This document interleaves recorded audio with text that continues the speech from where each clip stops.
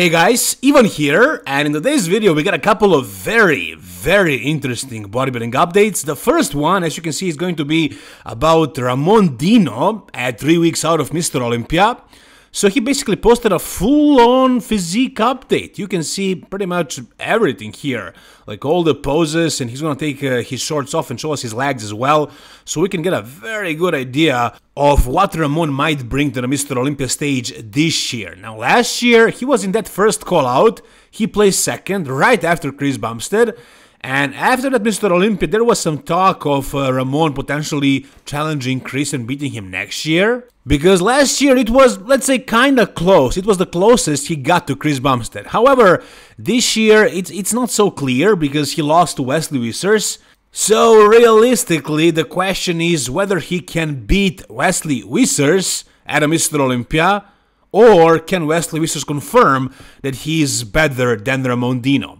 Now, what is going to be the outcome? Well, this is a tricky one for sure. As you can see in this video right now, at 3 weeks out, Ramon Dino seems to be getting in really good shape, in really good condition. But was conditioning ever an issue of Ramon Dino? I mean, last year he kinda barely made it, so at the Arnold Classic, I mean this year, earlier this year, at the Arnold Classic he was conditioned, but he could have been even more conditioned. And he definitely seemed very flat, not necessarily because he didn't carb up, but because he apparently didn't train for long enough before the Arnold Classic. Now, it's a different story. I mean, he, he also has to suffer like really bad and like make the weight. He, he is very close to his weight cap, he's barely making the weight.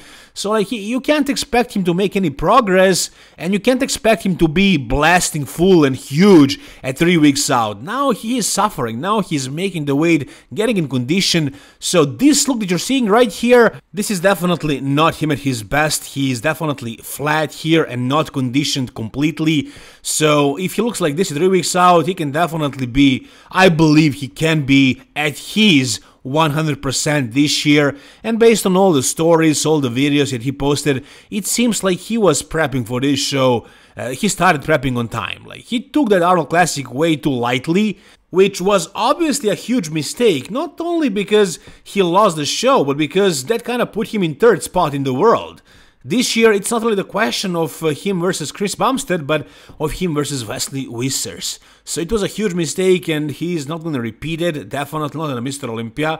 He's putting all of his into this show. It seems like that, and it seems like he's going to bring his absolute best. Now, now let's answer the question: Who is actually going to place higher than Mr. Olympia, Ramon Dino or Wesley Vissers? Well, once again, Ramon Dino is looking phenomenal right now at 3 weeks out. This is actually looking quite promising. It seems like he is going to be at 100%. And Ramon Dino at 100% is, in my opinion, the most complete classic physique in the world after Chris Bumstead. And I'm definitely including the classic lines, the classic shape, as one of the factors. Now, why Chris is better? It's simply because his structure is perfect. For classic physique, it doesn't get any better than Chris Bumstead, but Ramon, he's also quite, quite aesthetic, very aesthetic. He can get in really good condition, he knows how to bring fullness as well, and he has like pretty solid classic shape, classic lines. I mean, check out this video, this is actually phenomenal. So, I would say he's definitely more complete than Wesley Vissers, does she have the same amount of like wow factor, classic lines type of thing? No, no, not as much as Wesley, but definitely better legs. I would say even smaller waist. In order for Wesley to defeat him at the Mr. Olympia, Wesley needs to be 110%. He needs to be super crispy and super full, and like with his huge frame, maybe he can beat Ramon on the wow factor but it's gonna be difficult. If Ramon is 100%, you know, with his conditioning, his fullness, his shape, his size, he's definitely still very dangerous, and I don't know if Wesley can beat him again, but it's going to be a very, very interesting comparison. You guys tell me what do you think down below. Alright, the next thing is very interesting.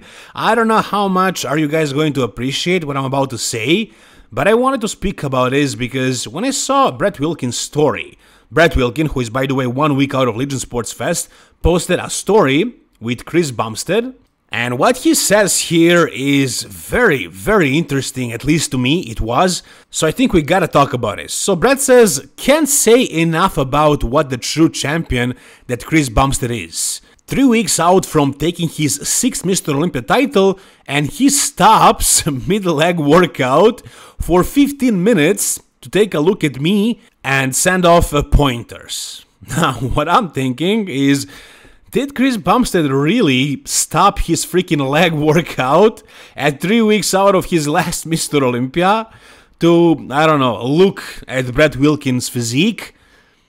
I mean, if uh, it was like, let's say, Samson who did this, maybe not Samson, Samson has great legs, but like if Samson did this like mid cardio, or actually, let's say if uh, Brandon Curry, for example, stopped uh, his leg workout to look at someone's physique, what would we say? We would all like all the fans would be super mad at those guys for not really trying their best for stopping their training or their cardio to look at someone else's physique. Now chris bumstead can do this i guess because he's that dominant that he doesn't even need to like do his leg workout all at once he can fool around not train his absolute hardest and uh, still win the Mr. Olympia, destroy all of those guys. I mean, this is this is kind of discouraging, I guess. If I was a classic physique competitor on the Mr. Olympia stage, if I saw this story, I would be like, this guy doesn't even care. Like he's not even trying hard to win his sixth Mr. Olympia.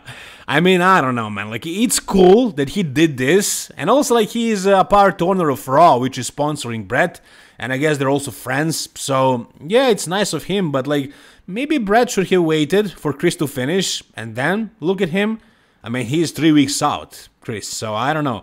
Also, like, you know, when you think about the biggest champions, uh, bodybuilding champions, like, imagine if Dorian had this sort of a mindset, you know, stopping a leg workout uh, midway to look at someone else's physique. You know, that would definitely never happen.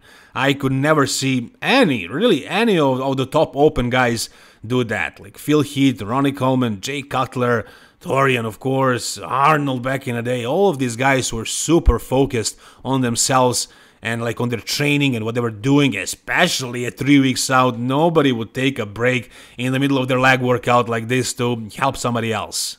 I mean, yeah, this also kind of means that Chris is a great dude, I guess, but also this kind of seems like he's not really respecting his prep that much that he is not really taking this like very seriously. I mean, he is that far ahead of his competition, he can do this kind of stuff. He doesn't really need to be 100% locked in, and I don't think he is for the most part of the year. I thought he would be at three weeks out, but apparently he, he is not, not really.